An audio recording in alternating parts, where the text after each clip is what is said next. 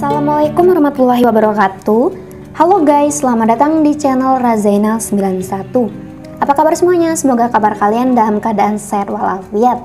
Nah, pada kesempatan kali ini saya akan kembali berbagi tips yang sangat bermanfaat banget untuk kalian lakukan di rumah. Terutama untuk para ladies yang ingin mengatasi jerawat dan bekas jerawatnya. Jadi, untuk di sini kalian harus rekomendasiin masker ini di rumah ya teman-teman untuk bahannya, kalian tidak perlu mencarinya jauh-jauh karena bahannya pun sangat simpel banget untuk kalian jumpai. Yang pertama, kalian perlu menyiapkan susu beruang. Susu beruang ini sangat bermanfaat banget untuk mengatasi jerawat dan bekas jerawatnya. Anda bisa mencampurkan susu beruang ini dengan bahan alami jenis lainnya. Jadi di sini kita akan campurkan susu beruang dengan madu ya teman-teman. Bisa kalian gunakan madu lemon ataupun bisa juga kalian gunakan kunyit bubuk. Untuk di sini saya gunakan madu murni. Jadi kita langsung saja ke cara pembuatannya. Yang pertama, di sini kita tuangkan terlebih dahulu susu beruang secukupnya aja ya teman-teman.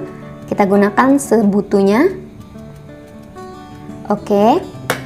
Setelah itu, tinggal kita tambahkan madu. Nah, untuk madunya Kalian bisa gunakan takaran sendok makan ataupun bisa juga gunakan takaran sendok teh. Untuk di sini kita gunakan sebanyak 2 sendok makan ya teman-teman.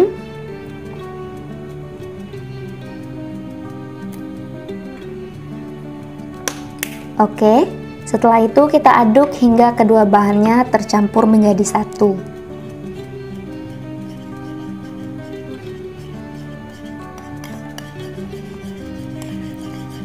Nah, jadi masker ini sangat membantu banget dalam proses menghilangkan jerawat dan juga bekas jerawat kalian teman-teman.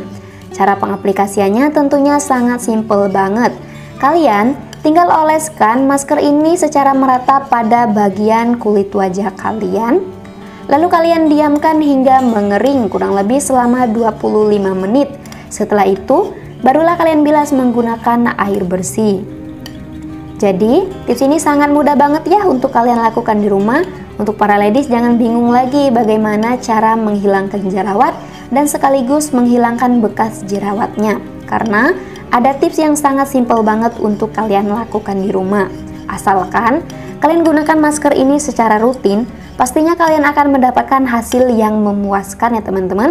Karena bahan yang kita gunakan bahan alami, hasilnya tidak instan, perlu proses untuk mendapatkan hasil yang memuaskan.